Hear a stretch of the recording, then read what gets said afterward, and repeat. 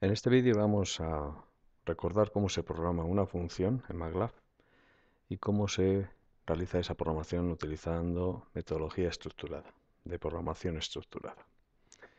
Para ello, en primer lugar, vamos a empezar a utilizar los iconos del menú archivo y vamos a abrir un nuevo, en este caso, una nueva función. Se va a guardar, lógicamente, en nuestra carpeta de trabajo y cuando creamos esta nueva función nos aparece la sintaxis ya escrita con la cabecera de dicha función. Lógicamente la vamos a personalizar y vamos a personalizar el nombre. En primer lugar, ¿qué va a hacer esta función? El objetivo va a ser calcular los polos de un sistema de segundo orden. Pues le vamos a poner nombre polos de un polo sistema mecánico. Vamos a poner un sistema de segundo orden de tipo mecánico. Vamos a utilizar el ejemplo de clase y aquí en parámetros de entrada vamos a definir los tres parámetros de entrada que tiene el sistema mecánico, formado por una única masa m, una constante elástica k y un coeficiente rozamiento viscoso b. Y como parámetros de salida vamos a devolver un único parámetro de salida que van a ser p, que va a contener, va a ser un vector que contiene los polos. Y, y aquí en comentarios vamos a añadir la información mínima necesaria que describa lo que hace la función. Vamos a ponerle en primer lugar el título y luego en esta primera línea vamos a decirle lo que hace. Calcula los polos de un sistema mecánico de, en este caso, de segundo orden. En la segunda línea Vamos a añadirle también más información y vamos a ponerle, por ejemplo, los parámetros de entrada, que son la masa m, coeficiente elástico del muelle k y coeficiente siguiente línea viscoso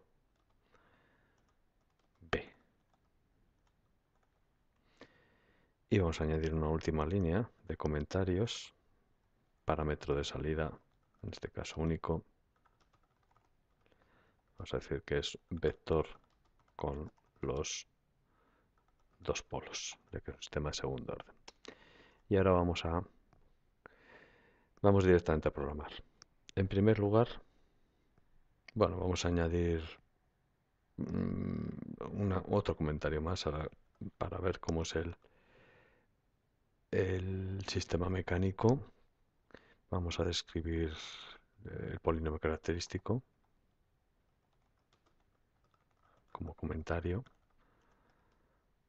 de ese sistema de segundo orden que estamos estudiando, que sabemos que es s elevado al cuadrado más eh, b dividido entre la masa por s más k dividido entre m. Y ahora sí, con esa información ya sabemos todo lo necesario para poder programar la función. En primer lugar, si observamos este polinomio característico, si la masa es nula, los coeficientes van a ser van a ser infinitos.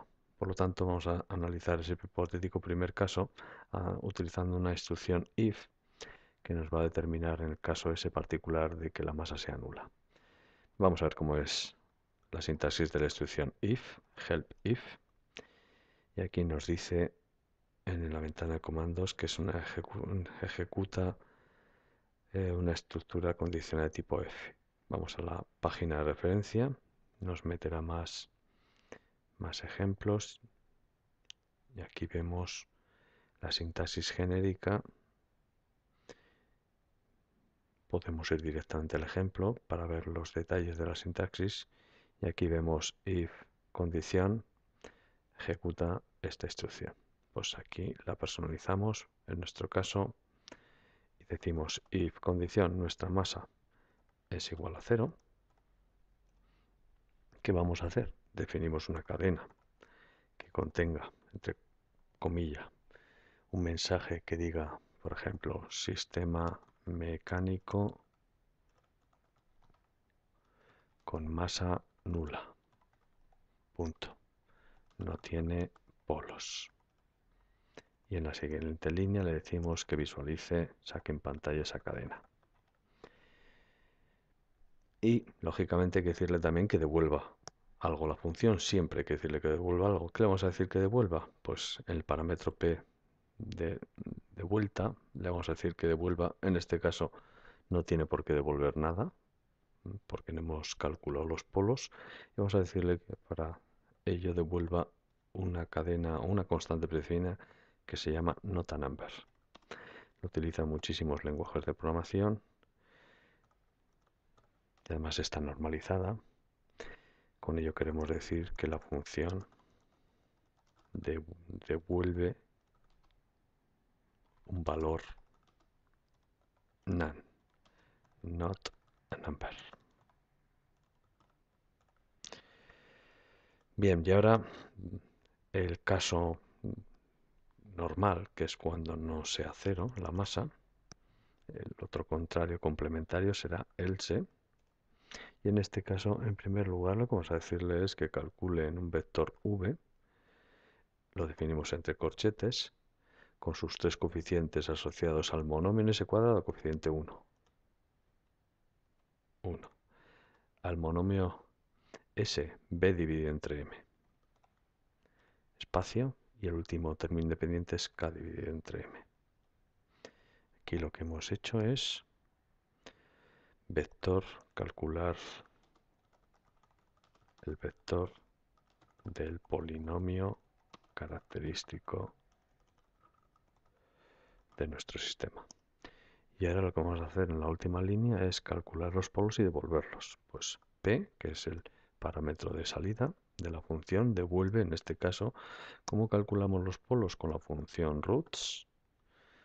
Y esa función roots lo que va lo que va a tener como parámetro de entrada es el vector, donde hemos definido, en nuestro caso, los polinomios, perdón, los, el polinomio característico. Por ello, la función calcula y devuelve, pongo el comentario, las, los polos del sistema.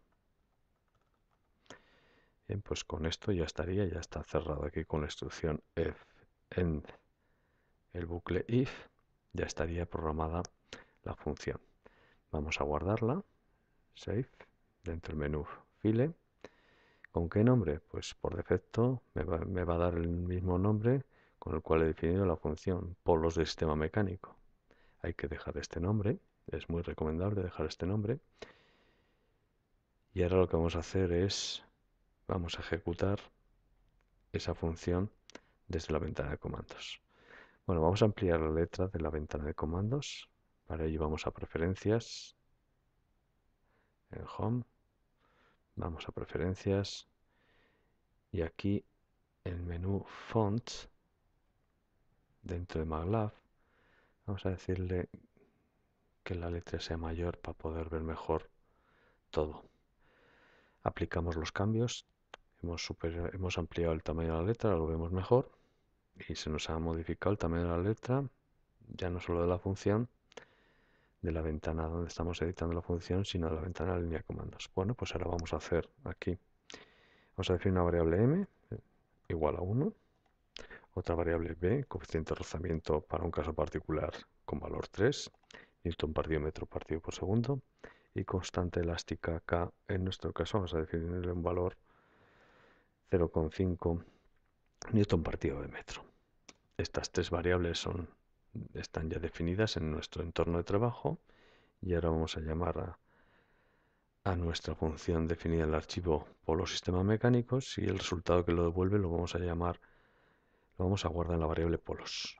Polos va a ser igual a la llamada a la función polo sistema mecánico y dentro nos va mecánico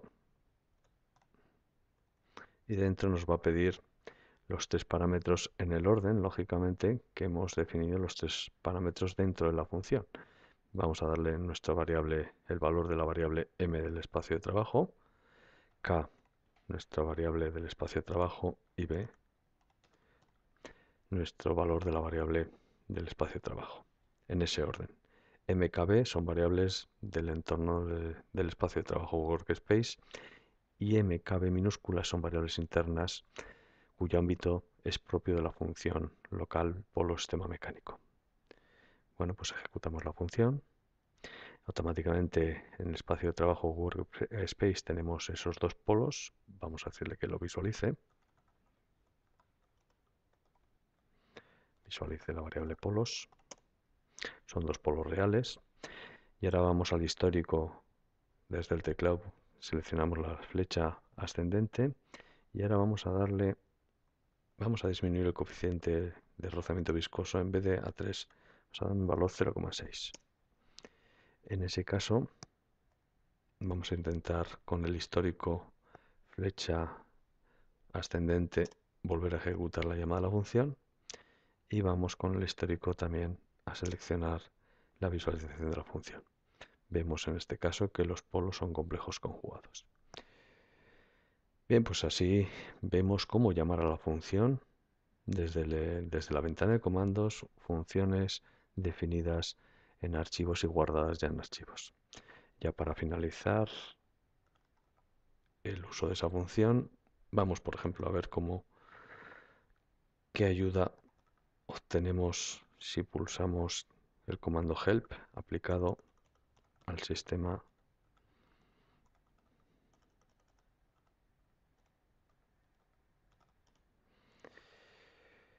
me dice que no hay ayuda y es porque me he equivocado el sistema los sistemas mecánico y como he definido en las líneas de comentarios superiores en las líneas de comentarios estas cuatro o cinco líneas son las que nos aparecen cuando tecleamos la ayuda, la ayuda de esa función. Bueno, eh, ahora lo que vamos a hacer es, vamos a crear un nuevo programa. Para ello vamos aquí al menú New. Y en este caso nuestro programa va a ser un script. Un script que va a hacer el uso va a hacer uso también de la llamada de esa función por los sistemas mecánicos. Bien, pues aquí el script se llama Untitled 8 y en ese script vamos a programar algo muy parecido a lo que estamos haciendo desde la línea de comandos. Vamos, por ejemplo, a darle a la masa m igual a 1 y a la constante elástica la mismo, el mismo valor que nos hemos dado antes, que si no recuerdo mal ha sido 0,5, efectivamente. Y lo que hemos ido haciendo es variar k. Bueno, pues ahora lo que vamos a hacer es programar con un bucle for. Vamos a recordar desde la línea de comandos cómo es un bucle for. Help for. Y no aparece ningún ejemplo. Igual lo mejor es ver un ejemplo directamente desde desde la página de referencia y directamente aquí vamos y analizamos el ejemplo y lo personalizamos a nuestras necesidades. Desde una variable que parta de un valor inicial a un valor final, tipo vector, vamos a ir ejecutando este conjunto de instrucciones en función de lo que va variando nuestro parámetro contador n. Bueno, pues vamos a hacerlo y personalizarlo en nuestro caso. En este caso lo que queremos es que nuestro parámetro b igual valor inicial 0.1. Vamos a ir, vamos a decirle que vaya hasta el punto final 2.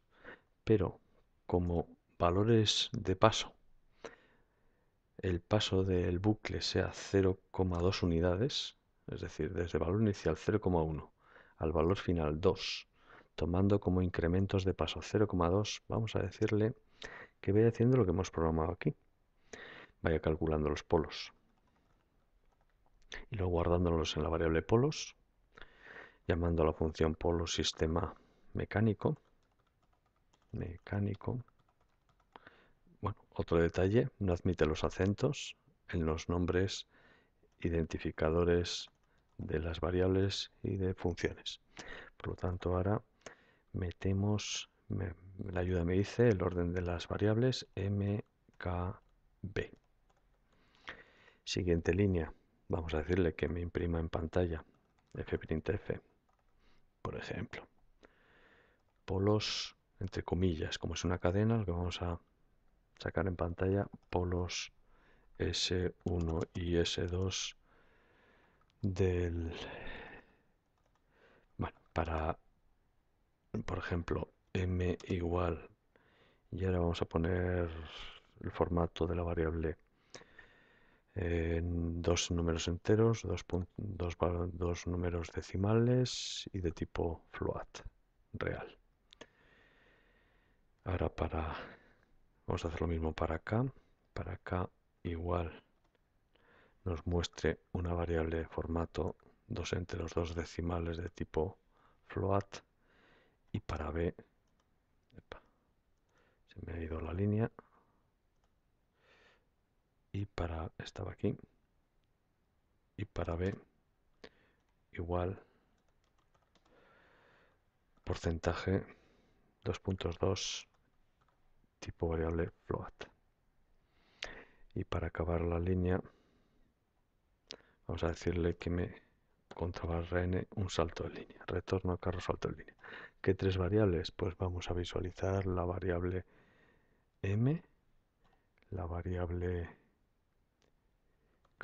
y la variable b vemos que todo en rojo no puede ser algo falla y lo que falla es que aquí puesto doble comilla es una simple comilla vemos que los colores nos permiten identificar en primer primer parámetro de fprintf, que es el formato con el cual vamos a sacar en pantalla esas variables y la cadena asociada.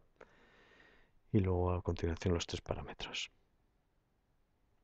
Y ahora aquí vamos a decirle, lógicamente, le hemos dicho para cada línea que nos muestre los polos, S1, S2 con valores MKB. Y ahora en la siguiente línea vamos a decirle que me muestre verdaderamente los valores de esos polos que los hemos guardado en la variable polos y ya estaría ya finalizado mi programa. Lo único, faltaría cerrar el bucle end, el bucle for con un end. Lo guardamos, vamos a guardarlo. Vamos a guardar el archivo. Eh,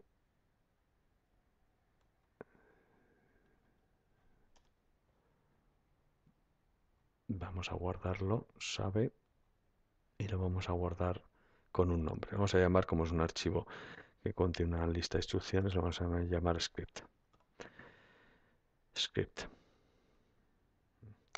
Todos los archivos que contengan programación en MATLAB tienen extensión .m. En este caso el archivo que contiene una función, por los sistemas mecánicos .m y el script que hace uso de esa función se llama script.m. Bueno, ya desde la línea de comandos, pues lógicamente vamos a intentar ejecutar ese script. ¿Cómo le hemos llamado? Script, pues para ejecutarlo, simplemente con poner el nombre del nombre del script, nos vamos dando cuenta que lo que nos va mostrando en la pantalla es, aquí vemos la primera ejecución para el primer bucle, bucle. Lo que hemos hecho es tomar el valor inicial de b 0,1, los polos son complejos conjugados. En segunda iteración b vale 0,3, valor inicial 0,1 más el paso 0,2, 0,3. Aquí siguen siendo los polos complejos conjugados en 0,5, 0,7, 0,9. Y ya cuando el valor de b ha pasado a un valor numérico 1,5, el valor de los polos complejos conjugados, perdón, en este caso ya no son polos dos polos reales distintos, y a partir de ahí son siempre también polos reales distintos. Bien, pues con esto damos por finalizada la introducción, breve introducción a la programación en MATLAB aplicando programación estructurada sobre directamente archivos ya programados scripts. Gracias, es todo.